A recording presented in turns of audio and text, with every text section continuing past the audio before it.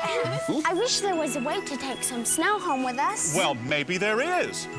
I'll be